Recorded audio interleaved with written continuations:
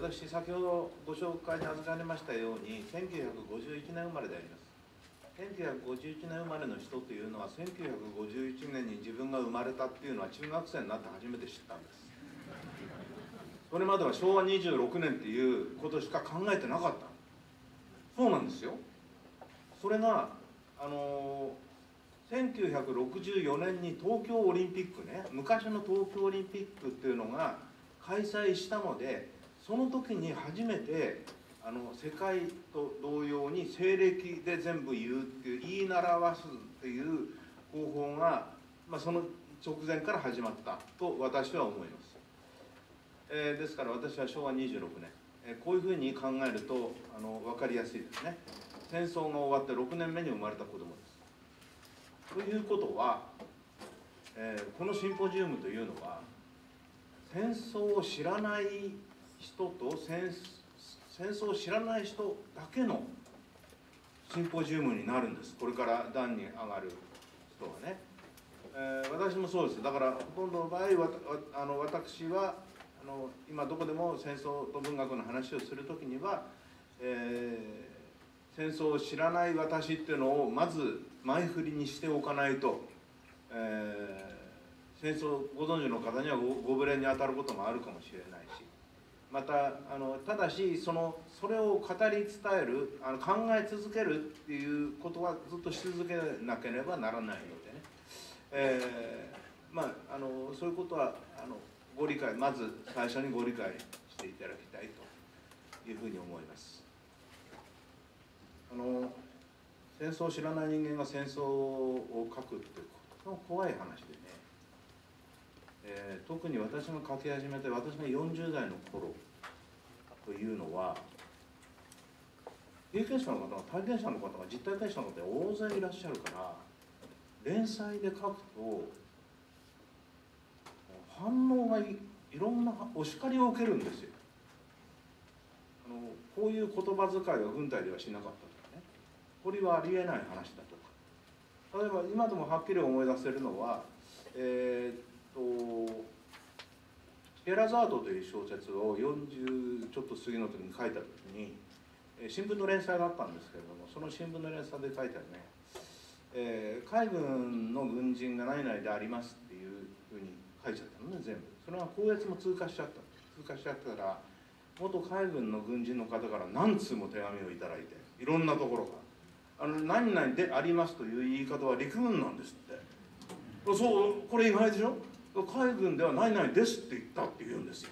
だからこれは複数の手紙が来たんで 実際そうなんでしょう、えー、この時はね自分で連載始まっちゃってから途中で言葉遣いを変えていくってのは変な話なんですけれども、うん、まああの変え変えましたですね、うん、まあ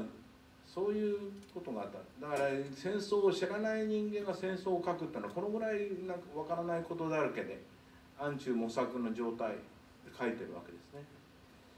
まああのそれでも、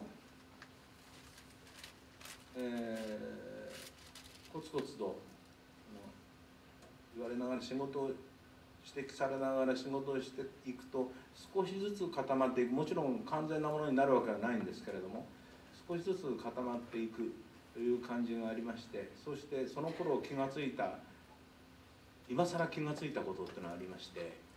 戦争小説って売れないんですよ。あのいや昔はね体験者の方が懐かしがって読むとか昔の人が開放的に読むってことはあったかもしれない。でも私の時代になったらね本当に売れないんですよ戦争小説って。それはそうですね。小説そのものは何かって言ったらこれ娯楽ですから。だからどういう分野にかかわらず面白くて読むのが小説ですからね。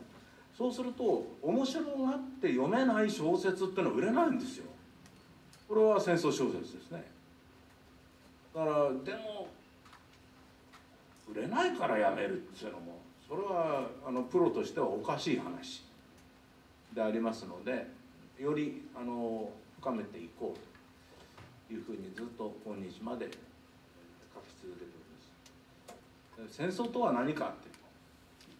ずっと僕たちは考え続けている問題世代に関係なく、えー、考え続けています。戦争を憎むっていうのは当たり前のことで戦争を賛美するなんていうのはね今時世界の中にやっぱりいないと思います。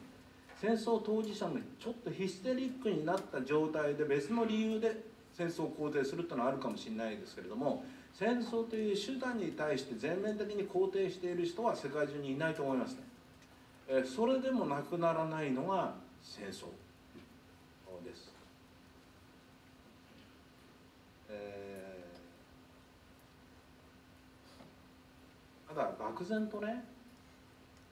戦争とは何かって考えても答えは出ない。答えは出ない。で結局は同じことをみんなで言い続けてることになる、えー、だから戦争についてやはり僕たちはもっと真剣に真面目にね、えー、勉強していかなければならない。戦争の本質っていうものを尋ねていかなければいけないと思います、えー、そういう意味で戦争文学っていうのはとても役に立つんで、え戦争というのはあらゆるあの文化を破壊します。え、一部科学は進展すると言われていますけれどもそれは錯誤も大きいと思いますよ。うん平和な時代であっても科学者はやっぱり科学を前進させることはできますよ。だから戦争だから飛躍的にってことは私はないとあるいはその代償として失う失うものは多すぎる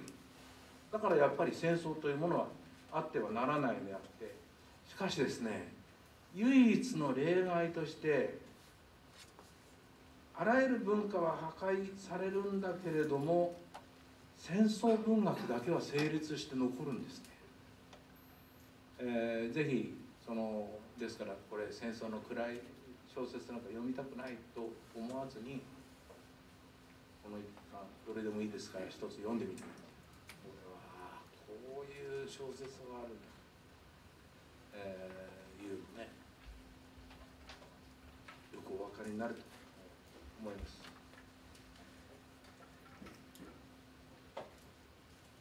まあ、一番最初にお話ししましたように、うん、文学の源泉というのは苦悩なんですね。あらゆる悩み不幸苦悩っていうのが小説になるところが今の世の中って割と豊かになりまして個人的な違いが多少あるにせよ世の中ってまあ豊かなんですよ。だからそうするとね同説の種っていうのが見つけづらくなってる。私はそれがあの文学というものがなんとなく堕落しているように感じるっていうのは今の世の中差し当たって不幸がないから。だからそれを書き残していく美しい物語にそれを変換していくエネルギーっていうのはっぱり欠けているんだと思います。えー、まあそんなわけで私も70を過ぎまして、えー、えー、そうなんですよ。今驚いてくれた方ありがとうございます。72なんです実はあちこちおかしく病院の世話にもなって。いるのでありますけれどもやっぱりもう少し頑張って、えー、売れない戦争小説を書いていきたいなというふうに思っております。ですから皆さんも文学を通じて、えー、戦争を学ぶということをやっていただければというふうに思っております。今日はどうもありがとうございました。